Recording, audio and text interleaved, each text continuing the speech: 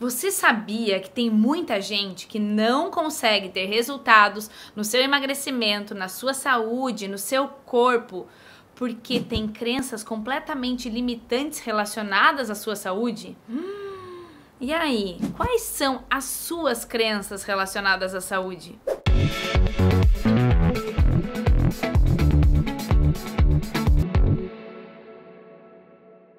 Eu sou a Júlia, especialista em resultados pessoais e estou aqui para ajudar você a alcançar resultados incríveis na sua vida. E o assunto de hoje é crenças relacionadas à saúde. É fato, temos crenças em todas as áreas da nossa vida, mas também temos relacionadas à saúde. Quantas pessoas pensam que quando uma pessoa está muito magra, ela está doente. Ai, gente, pessoas que são muito magrinhas, elas têm aspecto de doente. E aí você tá lá, querendo emagrecer, querendo emagrecer, e aí você tenta, tenta, tenta fazer uma dieta, tenta manter um estilo de vida ativo, mas algo vai contra você e você não consegue. Ou mais, quando você consegue emagrecer, você volta a engordar. Consegue emagrecer, você volta a engordar.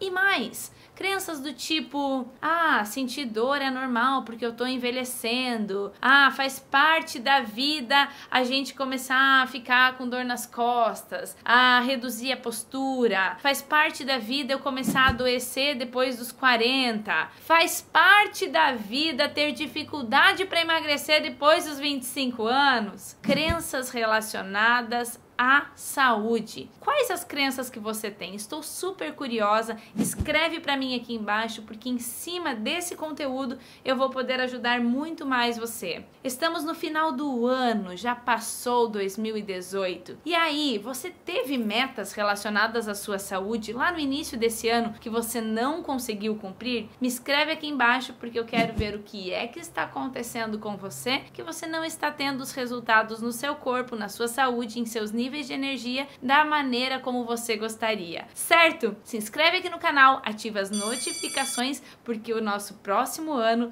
vem cheio de muito conteúdo que vai contribuir com você. Beijo grande, nos vemos no próximo vídeo. Tchau, tchau!